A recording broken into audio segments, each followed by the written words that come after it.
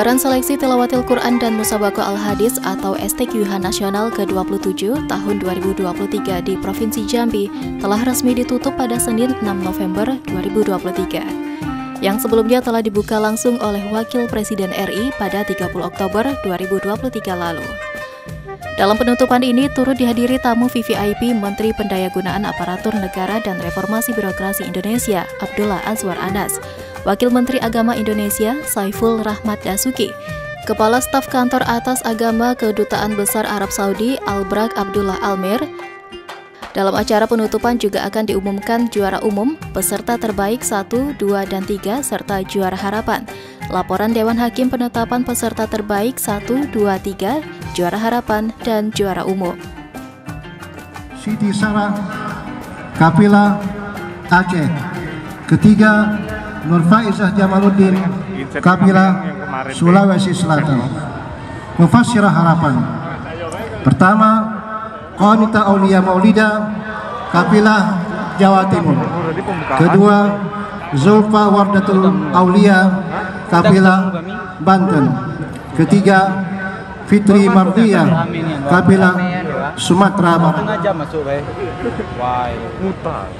Abang tadi putar dari sana. Muhadisah Harapan Pertama ya. Lagi kalau kepanjangan ini ini 8 menit atau 10 menit ambil ijen. Ya. Hati. Sudah Jaba Musabakah Al-Hadis A. Golongan hafalan 100 hadis dengan sanad Muhadis terbaik Pertama M. Ihsan Taufik Kapila Sumatera Selatan. Kedua Ahmad Syauki Kapila Sulawesi Tengah. Ketiga Zulfikar Ali Akbar Kapila Jambi. Muhaddis Harapan.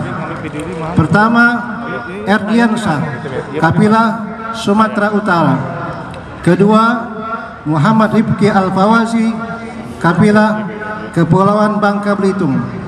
Ketiga Muhammad Iqbal Wi'an Kapila Kalimantan Timur. Muhaddisah terbaik. Pertama Azmi Dwiyanti Kapila Sumatera Selatan. Kedua Irma Juliana Hasbullah Kapila Sulawesi Selatan. Ketiga Melda Nazwa Hasibuan Kapila Sumatera Utara Iya. Main gitu. Muhaddisah Harap Pertama? Neti Meriski Az-Zahra Kapila Yogyakarta Kedua Isnawati Kapila Bangka Belitung Ketiga Nurul Amalia Hasna Kapila DKI Jakarta B. Golongan hafalan 500 hadis tanpa sanad 500 hadis. Hadis terbaik Aku Pertama. Asal Taufiki Nandito Kapila Jawa Timur Kedua M. Akhiruddin Nasution Kapila Sumatera Utara Ketiga Alfi Mulia Putra Kapila Riau Muhaddis Harapan Pertama Rosin Nasrullah Kapila Sulawesi Selatan Kedua Muhammad Islahuddin Kapila Jawa Barat Ketiga Miftah Nurul Ma'arif Kapila DKI Jakarta Muhaddisah terbaik Pertama Siti. Hafsah Kapila DKI Jakarta Otak, otak apa kalau tu. Tak kaidah kalau tak hadis. Yang kalau nak Quran nanti tentang dia tu. Kedua Maisarah Kapila Jawa Barat. Ketiga Lini Marito Simanjunta Kapila Sumatera Utara. Muhaddisah Harapan. Pertama Nurul Fadilah Kapila Banten Kedua Mutmainnah Kapila Kepulauan Bangka Belitung Ketiga Istiqamah Kapila Sumatera Selatan ditetapkan di kota Jambi pada tanggal 6 November 2023 Dewan Hakim Ketua Dr. Kiai Haji Ahsin Sakho Muhammad MA ditandatangani Sekretaris Dr. Haji Muhammad Ramli Masenga MA ditandatangani. Wassalamualaikum warahmatullahi wabarakatuh.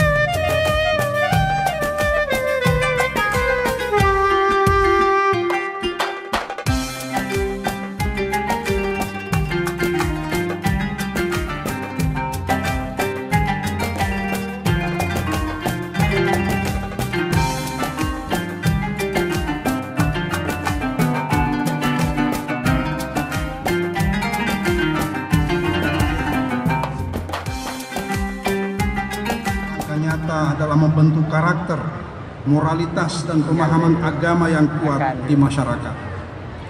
Kontribusi LPTQ yang besar tidak hanya memperkaya pemahaman keagamaan masyarakat, tapi juga memastikan bahwa Indonesia memiliki fondasi moral dan etika yang kuat untuk masa depan yang lebih baik. Dengan visi dan komitmen yang kuat untuk mengembangkan literasi Al-Quran dan Al-Hadis, LPTQ adalah mitra penting dalam memastikan harmoni dan kelangsungan budaya keagamaan Indonesia dalam rangka menuju masa depan yang lebih baik. Dalam rangka menyongsong Indonesia Emas 2045, LPTQ harus fokus pada pengembangan sumber daya manusia, teknologi informasi, kolaborasi dengan berbagai pihak, serta memastikan keberlanjutan program-program literasi Al-Quran dan Hadis. Salah satu program dan agenda tahunan yang rutin dilaksanakan oleh LPTQ adalah Musabakoh Tilawatil Quran dan Seleksi Tilawatil Quran dan Al-Hadis. Seleksi Tilawatil Quran dan Hadis bertujuan untuk memelihara, mengembangkan serta meningkatkan pemahaman, penghayatan, pengamalan serta menyebarluaskan ajaran Al-Quran dan Al-Hadis.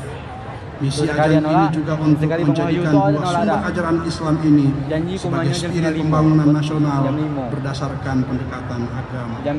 Kita tentu bersyukur perhelatan STIH ke-27 tahun 2023 ini telah menunjukkan adaptasi yang relevan terhadap pengembangan teknologi informasi. Kompetisi ini tidak hanya mempertahankan statusnya sebagai ajang nasional untuk memilih peserta terbaik yang akan mewakili Indonesia di ajang tilawah Quran tingkat internasional, tapi juga telah mengambil langkah menuju transformasi digital Transformasi digital diharapkan akan membawa dampak positif yang signifikan dalam penyelenggaraan seleksi tilawah Quran dan hadis. Transformasi ini diharapkan juga akan mempercepat dan mempermudah seluruh proses penyelenggaraan kompetisi ini. Tidak hanya di tingkat nasional tapi juga di level provinsi dan kabupaten kota. Selain meningkatkan efisiensi, transformasi digital diharapkan juga dapat memperkuat integritas dan moralitas dalam setiap kompetisi. Dengan begitu, seleksi tilawat Al-Quran dan hadis akan menjadi ajang yang lebih bermartabat dan dijalankan dengan nilai-nilai moral yang tinggi. Ini akan menciptakan lingkungan kompetisi yang sehat dan adil, di mana peserta dapat bersaing dengan jujur dan berprestasi secara layak. Transformasi digital ini juga membawa pesan keagamaan yang lebih kuat dan meyakinkan kepada masyarakat Muslim Indonesia. STKH bukan hanya sekedar kompetisi, tapi juga sebuah wadah untuk mempromosikan dan memperkokoh nilai-nilai keagamaan dan kebangsaan dalam masyarakat. Dengan terus memelihara semangat kemajuan transformasi digital, STKH akan terus berkontribusi dalam memajukan syiar Islam di Indonesia. Bukan tidak mungkin upaya tersebut dapat mendorong Indonesia menjadi pusat musabakoh dan pengkajian Al-Quran dan Al-Hadis. Saudara-saudara yang berbahagia, seleksi tilawatil Quran dan Al-Hadis ke-27 tahun 2023 telah selesai dilaksanakan di Provinsi Jambi sejak tanggal 29 Oktober sampai dengan 6 November 2023 dan telah melahirkan juara pada masing-masing cabang dan golongan lomba. Semoga para juara SDTH ini akan mampu mewarnai dan memberikan kontribusi nyata dalam meningkatkan kecintaan masyarakat muslim Indonesia terhadap Al-Quran dan Al-Hadis.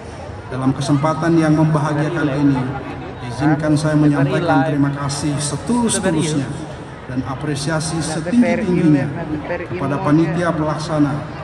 Secara khusus saya menyampaikan terima kasih dan penghargaan kepada Gubernur Provinsi Jambi, kepada Wakil Gubernur Provinsi Jambi, kepada Ketua DPRD Provinsi Jambi, dan seluruh Forkopimda Provinsi Jambi beserta seluruh jajarannya atas kerja keras dan dukungannya bagi suksesnya penyelenggaraan STKH Nasional ke-27 tahun 2023 ini. Saya juga mengucapkan terima kasih dan penghargaan yang setinggi-tingginya kepada seluruh pemerintah daerah dan kafilah peserta STKH Nasional ke-27 tahun 2023 dari provinsi seluruh Indonesia. Dan dengan penuh keikhlasan dan keinginan kuat berkenan hadir dan berpartisipasi dalam seluruh rangkaian acara ini. Semoga Allah Subhanahu wa taala meridhoi kita semua. Wabillahi taufik wal hidayah. Allahul muwaffiq ila aqwamit thoriq. Assalamualaikum warahmatullahi wabarakatuh. Mungkin sudah pada ini ya, pada lelah. Saya ingin mulai lagi. Saya ulangi. Assalamualaikum warahmatullahi wabarakatuh. Hafiz tuh Assalamualaikum warahmatullahi wabarakatuh. kalau kori kalau kori itu ngapa? Makasih. Bismillah Alhamdulillah Wala hawla wala quwata illa billah. Allahumma salli wa sallim ala Sayyidina Muhammad Wa ala Sayyidina Muhammad. Kama sallaita ala Sayyidina Ibrahim Wa ala ali Sayyidina Ibrahim. Fil alamina innaka hamidun majid.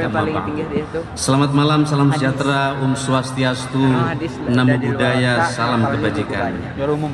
Sahabat saya, Wakil Menteri Agama Republik Indonesia. Ini atas ya Kedutaan Arab Saudi. Ahlan wa, sahlan wa marhaban bi hudurikum juara satu kori terbaik tadi tak yang kami hormati Bapak sekalian khususnya sahabat saya Gubernur Jambi. Ini yang mengundang saya karena besok akan ada pertemuan dengan para gubernur yang hadir pada kesempatan ini Pak Dirjan sekaligus Ya. LPTK Jangan Nasional.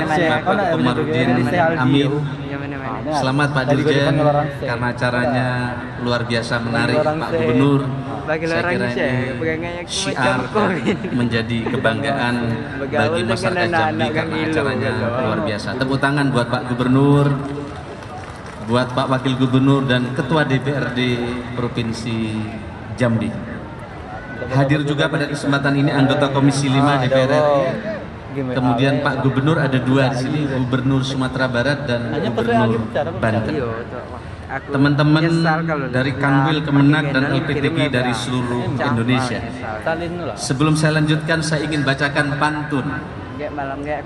Pergi ke langgar bersama teman. Untuk mengasih kekuatan iman.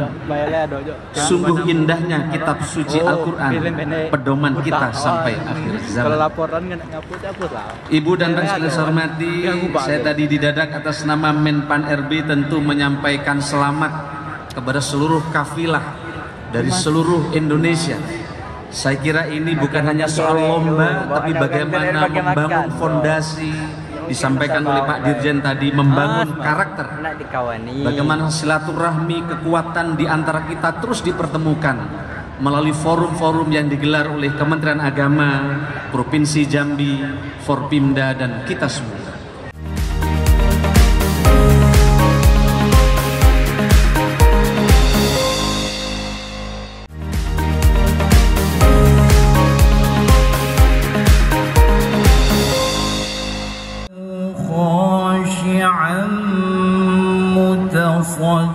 متصدعا من خشية الله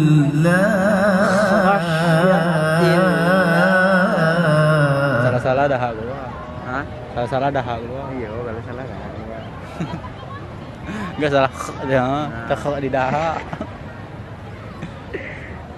Sudah. Menang. وتلك الأمثال نضربها Kayaknya ya ada nari. للناس لعلهم يتفكرون Tapi tidak banyak. Ngepul we bentar. ah. Tak penarinya tidak banyak dah. Iya. Dah kayak tu hari tu 400 orang dah. Iyo. Pul lapangan di luar. Seralangun itu. Seralangun itu besar dari kau lagi lapangannya pool penari gila. Seralangun. Ya, besar dari kau lagi lapangannya. Narinya pool.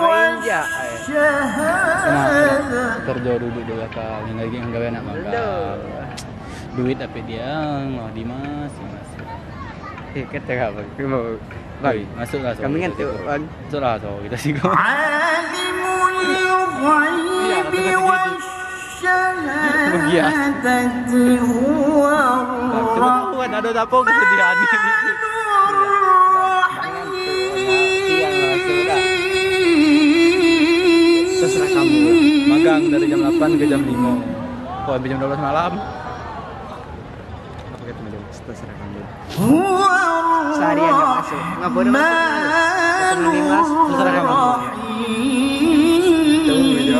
Aku itu Batu pula lagi. Berarti belum minat aku pula. Sadaqallahul azim Kau tengok kau berita Kau tengok kau berita Kau tengok kau berita Kau tengok kau berita Assalamualaikum Olah, warahmatullahi wabarakatuh. Terus suruh budak lagi. Ambil yang di apa tadi? Bismillahirrahmanirrahim. Alhamdulillahi rabbil alamin. Wassalatu wassalamu ala asrafil anbiya wal mursalin. Sayyidina wa nabiyuna wa maulana Muhammadin wa ala alihi wa sahbihi ajmain. Allahumma salli wa sallim ala Sayyidina Muhammadin fatihil lima uhlika wal khatami lima sabaqa wan nasiril haqqi bil haqqi wal hadi ila siratikal mustaqim wa ala alihi wa ashabihi haqqa qadrihi wa miqdaril azim amma ba'd yang sama-sama kita hormati Bapak Menteri Pendayaan Aparatur Negara dan Reformasi Birokrasi Bapak Haji Abdullah Ajar Anas Yang saya hormati Ketua LPTK Nasional sekaligus Direktorat Jenderal Bimas Islam Profesor Dr. Phil Kamarudin Amin beserta Ibu yang saya hormati Gubernur Jambi Dr. Haji Al Haris Esos MH bersama istri Bapak Wakil Gubernur Dr. Haji Abdullah San, Dr. Randas Haji Abdullah Sani MPDI Ketua BKW Provinsi Jambi Badan Koordinasi Organisasi Wanita Hajah Komariah Sani Saya wali kota dah. yang saya hormati dan kita muliakan. Imam Besar Masjid Istiqlal Profesor Dr. Kiai Haji Nasaruddin Umar MA yang saya hormati Kepala Atas Agama Kedutaan Besar Arab Saudi Asyik Al-Barak Abdullah Al-Amir. Marhaban Ahlan wa salam bihudurikum. Yang saya hormati para gubernur. yang hadir pada malam hari ini se-Indonesia atau yang mewakili datang yang saya hormati Adik. Porkopominda Provinsi Jambi dan yang saya hormati para kepala kantor wilayah Kementerian Agama se-Indonesia Mobil khusus Kepala Kantor Kementerian Agama Provinsi Jambi Pertama dan utama mari kita panjatkan puji syukur kehadirat Allah Subhanahu wa taala karena dengan ketentuan dan takdirnya pada malam hari ini acara STQIAH tahun 2023 ini bisa diselenggarakan dengan baik dan lancar. Sehingga kita dapat bersilaturahmi dan berkumpul di tempat ini dalam rangka menghadiri penutupan sila seleksi tilawatil Quran dan hadis tingkat nasional yang ke-17 tahun 2023 tahun ini di Provinsi Jambi. Salawat serta salam tak lupa mari kita haturkan kehadiran Nabi besar Muhammad sallallahu alaihi wasallam dengan harapan kita mendapat syafaat yaumil kiamah kelak amin ya robbal alamin. Hadirin yang saya hormati, Al-Quran merupakan pedoman hidup bagi umat Islam. baik sebagai individu maupun sebagai umat yang membahas tentang berbagai hal di dalam kehidupan kita di seluruh dimensi kehidupan manusia. Sebagai bagai pedoman hidup, Al-Quran diturunkan Allah Subhanahu wa taala bukan hanya untuk sekedar dibaca secara tekstual tetapi bagaimana Al-Quran itu dapat dipahami dihayati serta diamalkan dalam kehidupan sosial bermasyarakat petunjuk Kartu dan pesan-pesan Al-Quran memuat prinsip-prinsip dasar dan pondasi umum sebagai landasan hidup kita. Iya. Al-Quran telah menjadi tonggak ngedit, inspirasi, perubahan dan kemajuan besar bagi umat manusia.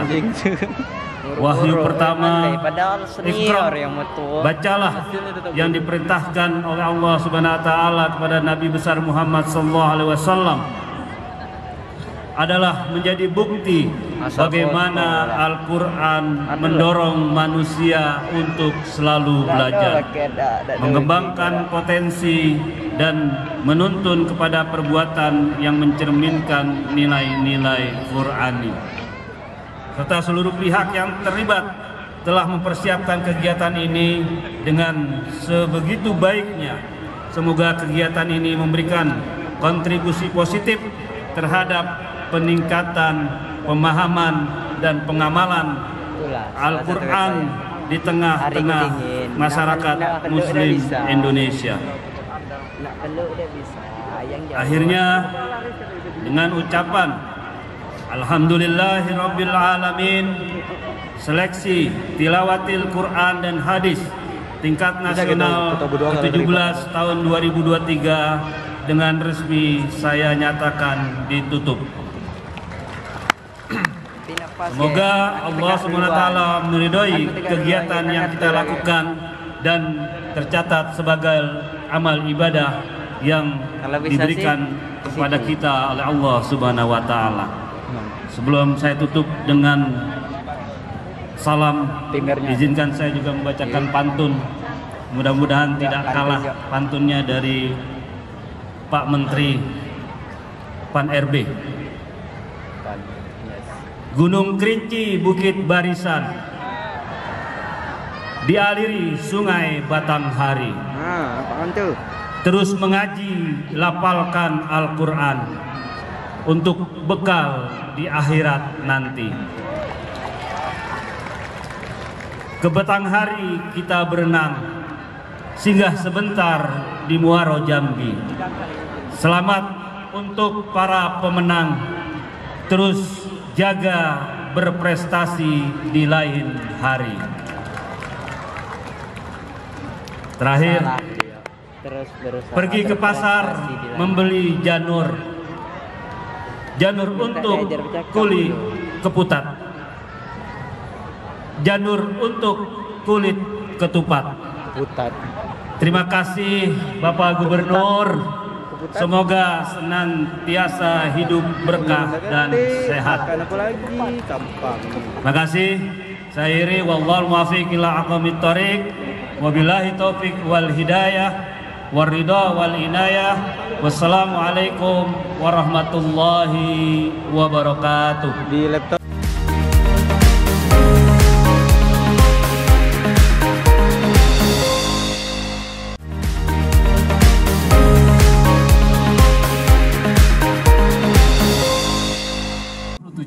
secara resmi ditutup. saya tadi kok. Kami persilahkan kepada Bapak untuk bisa meletakkan tangan pada tombol dan mohon izin kita akan hitung bersama dengan hitungan mundur. Tiga, dua, satu.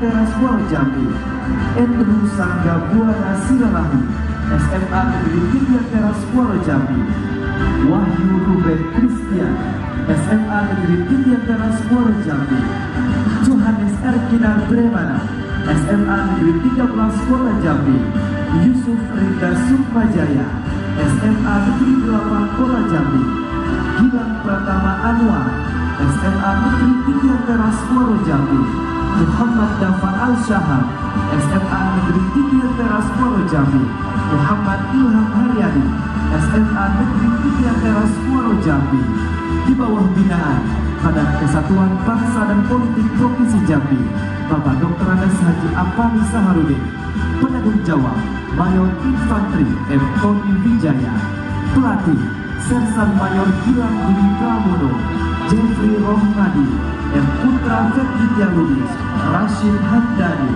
Permata Ayuda, dan Suci Ayuni.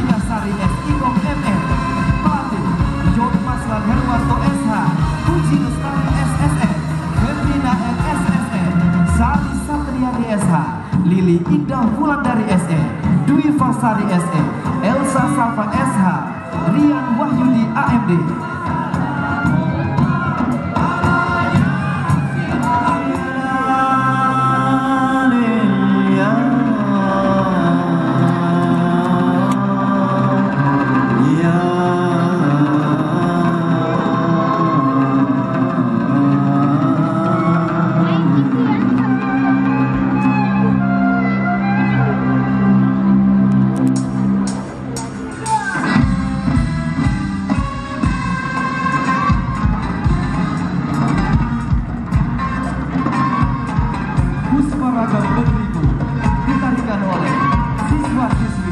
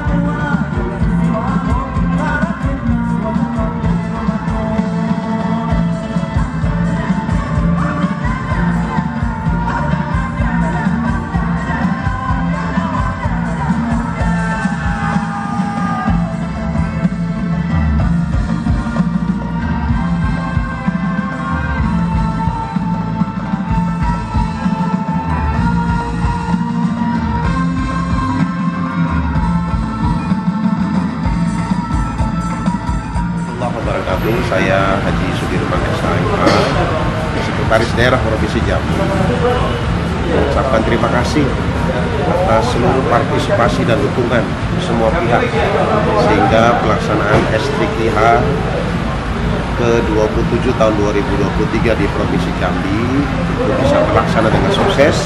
Dan pembukaan kemarin dilakukan dan dibuka langsung oleh Wakil Presiden. Dan hari ini ditutup oleh Wakil Menteri Agama Republik Indonesia. Selamat bagi para kafilah yang telah berhasil meraih juara 1, 2, 3 dan harapan mudah-mudahan bisa terus dipertahankan tentunya prestasi juga untuk tetap ditingkatkan bagi teman-teman kafilah yang belum beruntung terus berlatih mudah-mudahan ini bagian dari sukses yang tertunda dan kita harapkan STQ dua tahun yang akan datang bisa terlaksana juga dengan sukses sama seperti terselenggaranya STQH ke-27 tahun 2023 di Provinsi Jambi. Terima kasih. Assalamualaikum warahmatullahi wabarakatuh.